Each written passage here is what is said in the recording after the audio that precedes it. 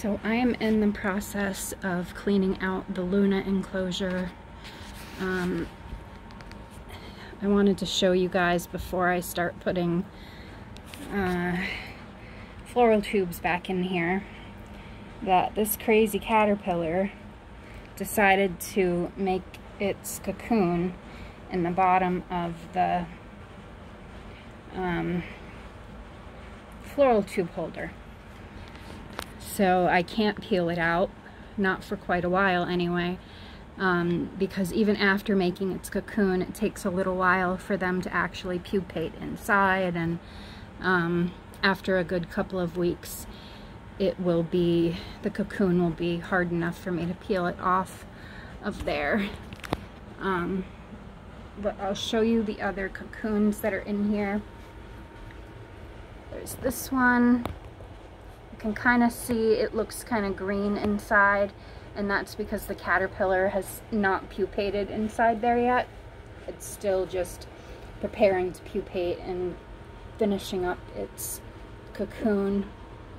And then we have this one right here, which I accidentally ripped a hole in as I was trying to take the paper towels out. So, but I'm still gonna leave it be. It looks like it may have already pupated in there. Either that or it's just turned that pinkish brown color that some of them do before pupating. Um, and then up on the top of the enclosure we have this cocoon that I found and we have this cocoon that I found also. So I'm going to start trying to put some of these floral tubes back in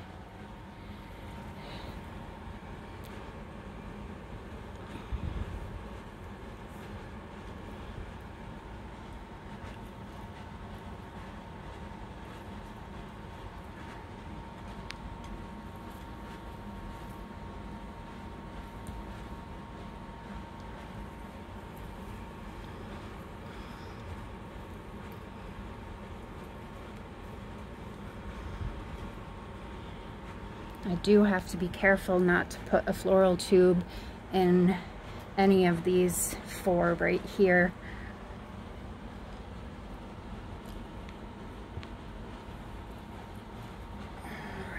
I have this holder which can go back in now.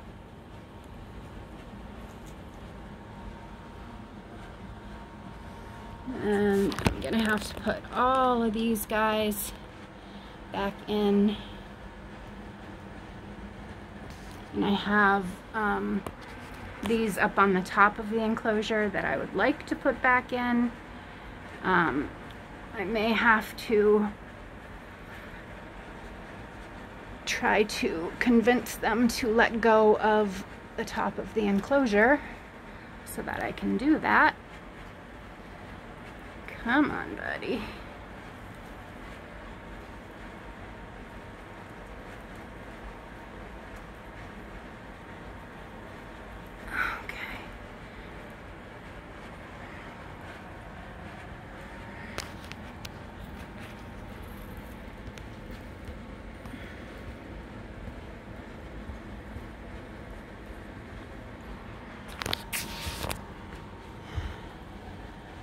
We have caterpillars that are holding on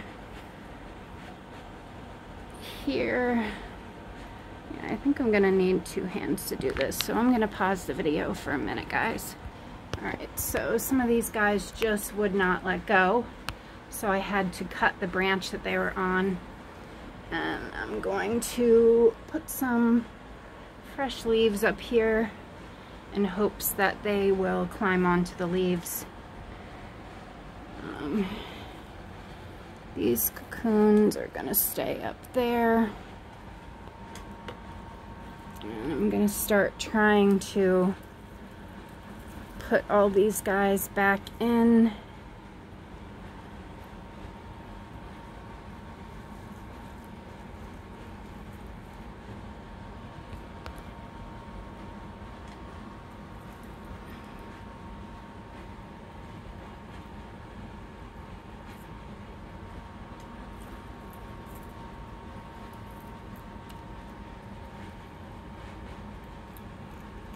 Oh yes, this is also a cocoon that I also found. Let's see if I can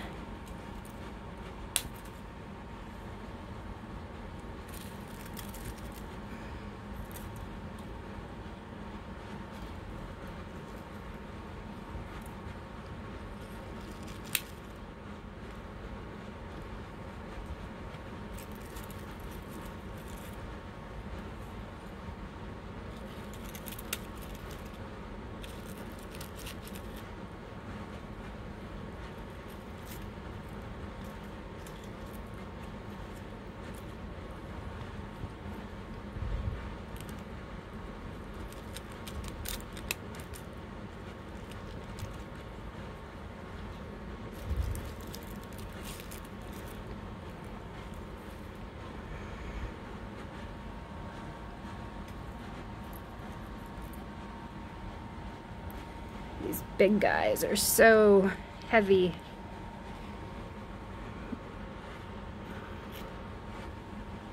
The bottom of the enclosure is wet here because I had um, floral tubes laying on the top of the enclosure that had caterpillars on them. I know, buddy. I'm gonna leave you alone in a minute. And the floral tubes had water in them and the water was dripping down.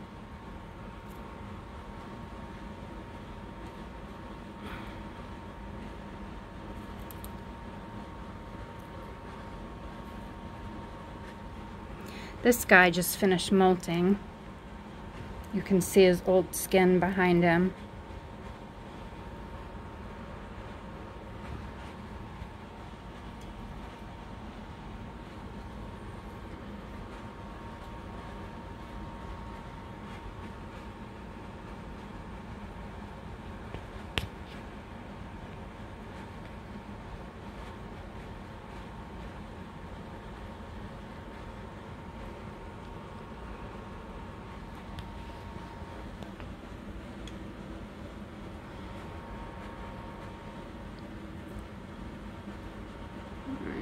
One's empty.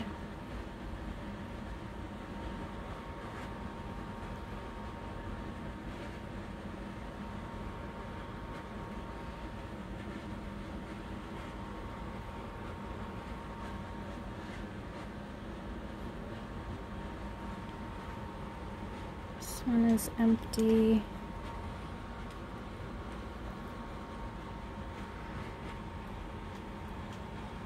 This guy is huge. Almost looks like he's starting to turn a little bit pinkish in color.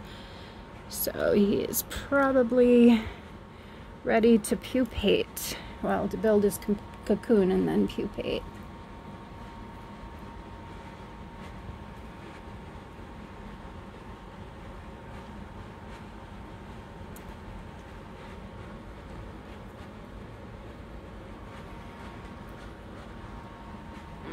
Goodness, the size of some of these is just quite impressive.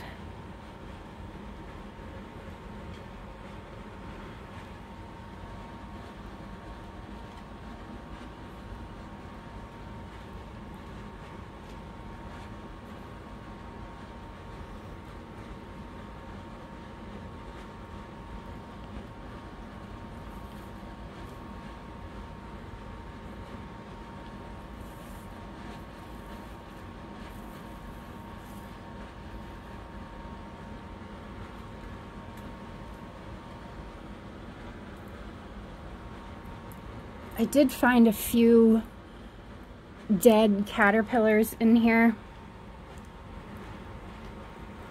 I don't know if there was something on one of the branches or leaves that they ate or what.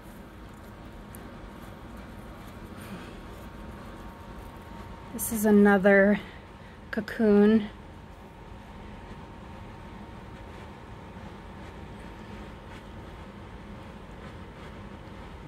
So So I'm going to put this one on the top of the enclosure also.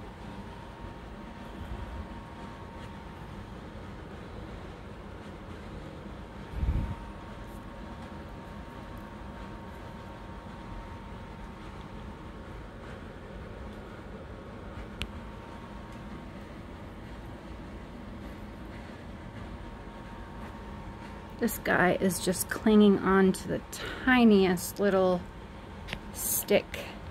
And he's holding a piece of frass, which is caterpillar poop. So I'm gonna stick them right up there on some leaves. And we still have these guys here. There we go. That need to go back in. This caterpillar on the side of the enclosure, I don't know what is up with him. He does not seem healthy.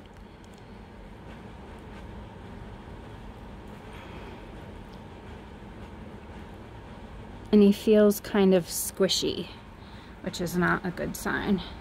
So I think I'm going to try to remove that caterpillar. Everybody else that was over here, oh, we have a little runaway. I'm gonna have to try to get that guy on a leaf.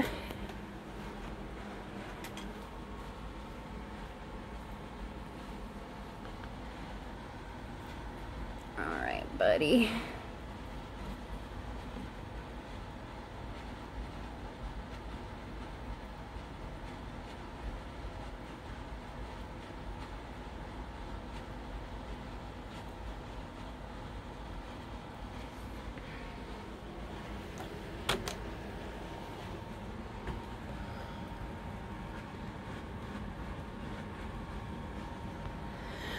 All right, let's see.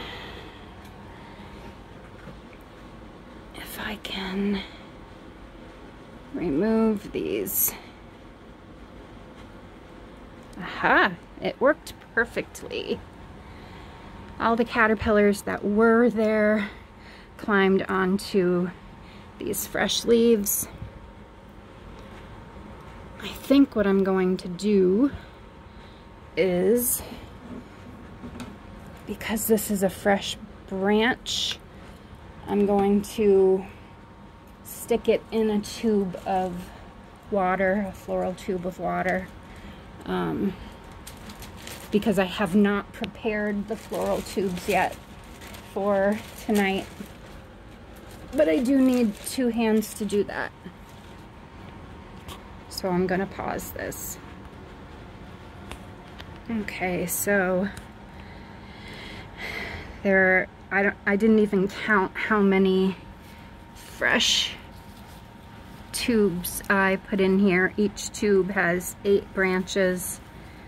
Um, so there's a lot of fresh food in here right now. But we have a lot of caterpillars and a lot of them are big caterpillars. So the enclosure kind of looks overtaken by food at the moment. And then all the other caterpillars are here on the bottom of the enclosure. The ones that I cut off of the dead or dried up leaves or branches that they were on.